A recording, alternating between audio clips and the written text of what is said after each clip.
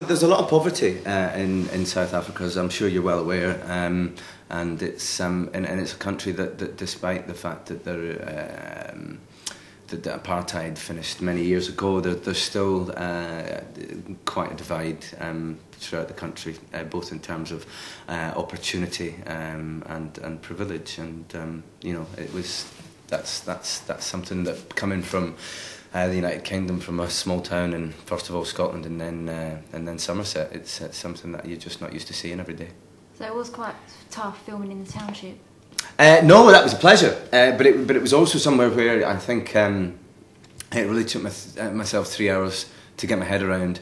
Um, the, just just the the abject poverty, but what I also saw was a um, a, a group of people who really um, were so proud of what they had.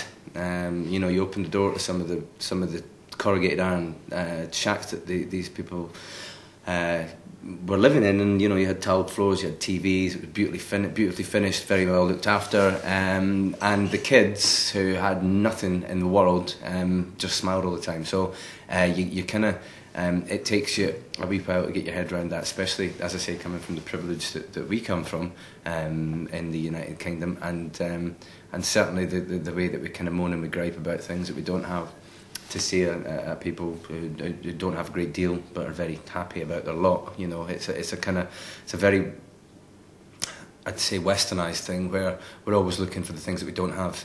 Um, and rather than being thankful for the things that we do have, um, so that was again, I think it's the same as India. It's the same as uh, many developing countries. It's uh, it, it, it, it's something different, and it certainly, um, I think, makes you appreciate what you do have.